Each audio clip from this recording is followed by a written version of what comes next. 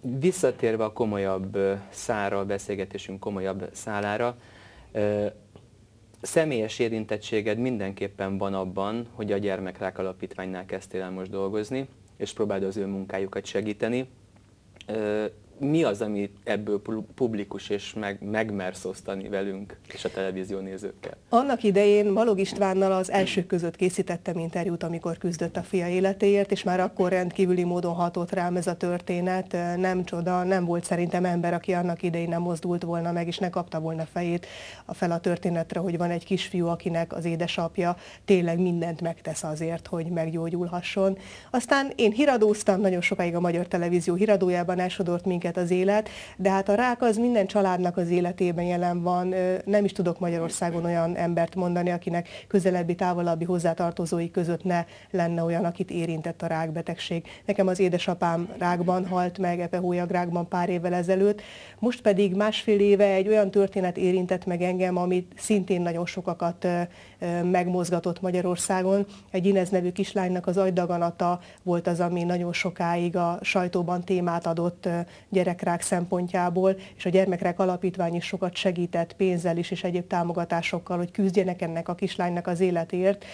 Ineznek a történetéről nagyon sokszor számoltam be, személyesen segítettem az útját, voltam nála a lakás, lakásukban, forgattam. Eljött hozzám Inez a szüleivel és a kislányomhoz, és töltöttünk együtt egy délután, gyöngyöt fűztünk, játszottunk, és láttam, hogy ő hogyan próbál meg küzdeni ezzel a betegséggel, és láttam a szülőket, hogy micsoda erőfeszítéseket tesznek annak érdekében, hogy egy lányukat megmentsék. Sajnos ez nem sikerült, ez a történet kudarccal végződött, és az ember ezen nehezen tud átlépni. Én is megsirattam, és a lányom is megsiratta, amikor neki elmondtam, hiszen például egy gyerekkel is őszintének kell lenni, nem lehet takargatni, tehát amikor Inez meghalt, akkor én megmondtam a lányomnak, hogy az a kislány, akivel te telefonon beszéltél, aki nálunk volt, aki játszott veled, a sajnos menthetetlen volt és meghalt, és ezen, ezen a lányom is túlesett, és ő is elgyászolta, elstiratta. Ezek az érzések elég erősen beivódnak az ember életébe.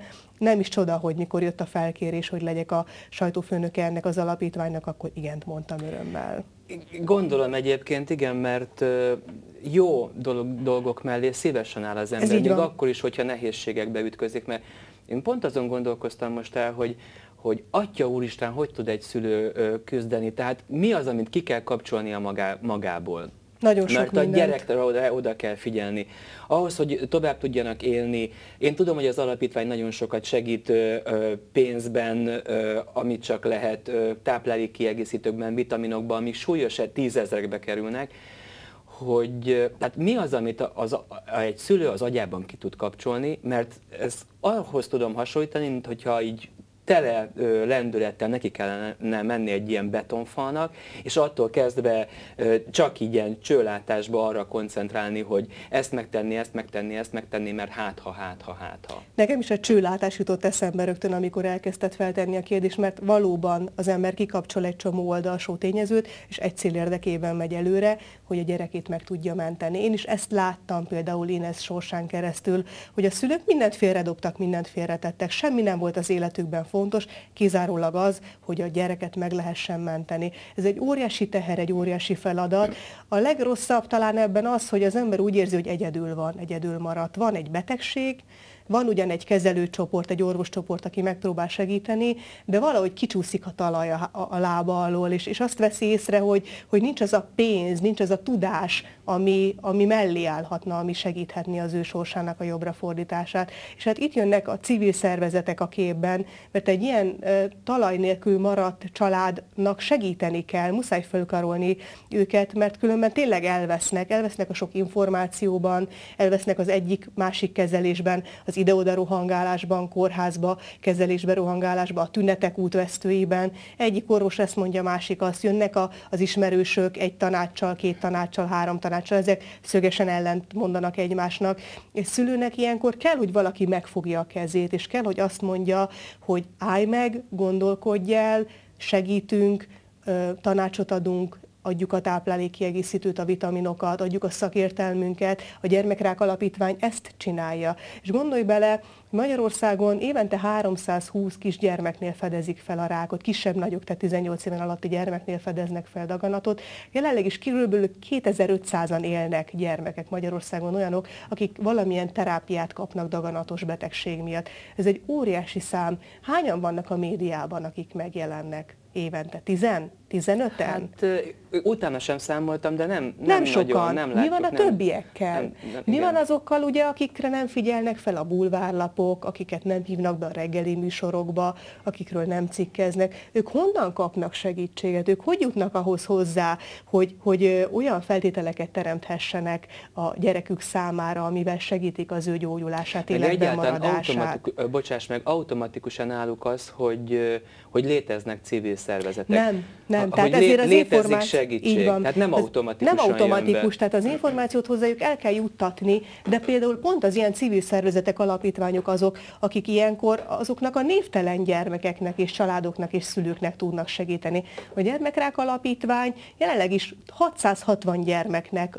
finanszírozza a vitaminjait, táplálék kiegészítőit, utaztatását, kezelését, mert, mert nem mindenki juthat el a kamerák elé, nem mindenki kaphat olyan nyilvánosságot, hogy, hogy valóban befizetett pénzzel segítsék az ő gyógyulását, hanem vannak a névtelen emberek, akiknek az alapítvány, alapítványok tudnak segíteni. És az alapítványoknak ki segít? Hát a civil, az... azok az emberek, ugye, akik például az egy százalékukkal rendelkeznek, és akik azt mondják, hogy, hogy valóban láttam egy történetet valahol a tévében, vagy olvastam egy cikket, annak a kisfiúnak, kislánynak esetleg utaltam a, a fizetésemből valamennyit, de, de azoknak is segíteni kellene, akik nem kerülnek a média keresztüzébe.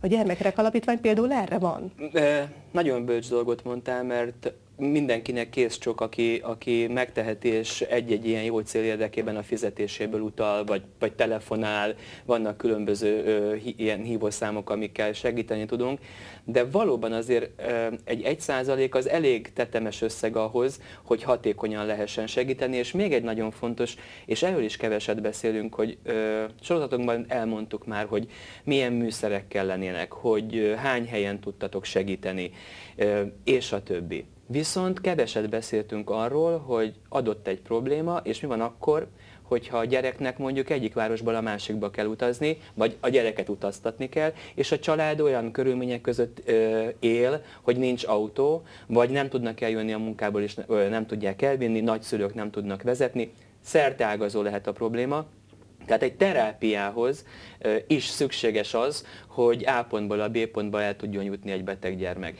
És ez ezen úgy elsiklanak az emberek, El. mintha ez nem is lenne probléma, pedig nagyon komoly probléma. Ilyenkor van az, hogy például egy alapítvány vásárol egy mentőautót, vásárol egy szállítóautót, és végzi ezeknek a gyermekeknek a, a fuvarozását. De egy ilyen kocsinak az ára írdatlanul magas. Ezt nem lehet csak úgy összedobni, az egy százalék viszont alkalmas erre. Tehát az emberek, hogyha az egy százalékukról döntenek, akkor sokszor tényleg azt kell, hogy mérlegeljék, hogy, hogy hova lehet úgy adni a pénzt, hogy abból a sok kicsiből aztán egy olyan nagy összeg jöjjön ki, egy olyan nagy batyú teljen meg pénzből, pénzzel, amiből nagy értékű dolgokat lehet vásárolni. Amikor uh-huh. a Gyermekrák Alapítvány egy műszert vásárol, nem régében Tatabányán adtunk át, akkor az 42 millió forint volt. Egy kisnyugdíjas vagy egy dolgozó eh, nem tud ennyi pénzt pénzt elővarázsolni a zsebéből, de ez nem is várható el. Az viszont jó, hogyha az belátja, hogy a pici egy százaléka, ami lehet, hogy csak néhány ezer forint, vagy jobb esetben néhány tízezer forint, a sok picihez hozzáadódva hirtelen akkorára gyarapszik, hogy abból egy ilyen komoly beruházást lehet tenni, és ezzel további gyermekek életét lehet megmenteni, azzal, hogy például diagnosztizálnak, vagy gyerekek életét lehet ezzel megmenteni, hogy segítik az utaztatást, vagy azzal megmenteni, hogy a gyógyulásukat tényleg meg kiegészítő terápiákkal segítsék, és ez szerintem fantasztikusan jó érzés. Nagyon sok dolognak ástál a mélyére szakemberként. Azon elgondolkoztál, hogy lehet, hogy szkeptikussá váltak az emberek? Vagy Igen. nem hisznek, vagy, vagy azt mondják, hogy nem fog oda kerülni a pénz, és amikor nem is foglalkozunk a dologgal, mert legfeljebb ne, nem bosszankodunk, vagy e, ezer ilyen dolog merülhet föl abban, aki, aki döntés előtt van, most felajánlja, nem ajánlja fel. Tehát Nem Abszolút, teljesen egyetértek veled.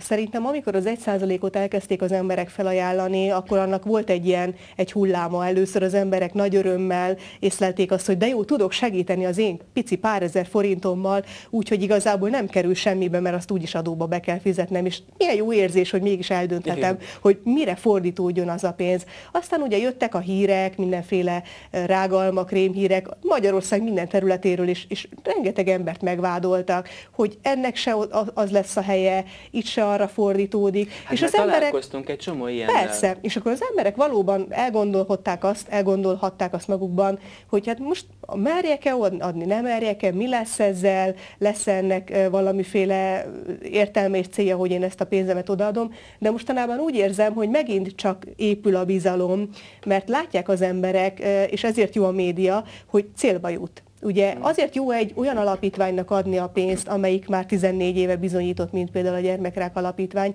mert vissza lehet követni az adományokat, lehet látni, hogy hány Nagyon helyre, hány helyre, hova, kik vették át, lehet uh, látni a honlapon is, lehet a média tudósításaiból is látni, és az embernek ez ad egy olyan érzetet, hogy uh, abba az én 5-10 ezer forintom is benne van. Főleg, hogyha esetleg helyi kórházba, intézménybe kerül, vagy egy helyi családhoz kerül vissza a támogatás, akkor azt, azt az ember látja, a szomszédjától hallja, hogy, hogy ennek a beteg kisgyereknek, kisfiúnak a gyermekrák alapítvány adott valamiféle támogatást, akkor az ember azt mondja, hogy akkor a következő egy százalékomat is odaadom, hiszen látom, itt van a szemem előtt, hogy ők támogatást kaptak, ők segítséget kaptak. A bizalom épül fel újra, és ez nagyon fontos dolog. A bizalomhoz az kell, hogy nyilvánosságra kerüljenek ezek az adományok, ezek az átadások, hogy a sorsok tényleg látszódjanak, hogy az ember azt érezze, hogy hogyha adok, akkor annak valóban értelme van. Ez együtt jó lenne, ha a társadalom követelné is, hogy ez nyilvános legyen. Tehát ne az legyen, hogy én letudtam, utaltam, vagy, vagy rendelkeztem az egy százalékomról, hanem valóban követelnék, hogy rendben van ide, akkor viszont én annyit kérek cserébe, hogy kapjak egy értesítést, hogy ennyi pénzt gyűlt össze, ebből ezt vásároltuk meg, ennek a kórháznak adtuk. És egyébként, hogy mennyire kétséges még mindig a világunk, hát azért a ti nevetekkel megpróbálnak visszaélni a mai napig. Tehát Meg. ez borzasztó 2011, Persze. és még mindig itt tartunk, hogy szélhámosság hegyek vannak Ez nagyon szomorú. Az igazából nagyon nagy baj és nagyon nagy kár, hogy, hogy a, a nemes gesztusokat, a jó célt néhányan háttérbe söprik, és valóban nem úgy járnak el, ahogy el kellene járni. Ezeknek szerintem mindig meg lesz a maga bőtje, meg lesz a maga büntetése, a jó elnyeri méltó jutalmát, a gonosz pedig a büntetését. Én ebben nem kételkedem. Csak fordítva ne legyen. Csak fordítva ne történjen hogy, meg. Hogy a jó a méltó büntetését. büntetését így van.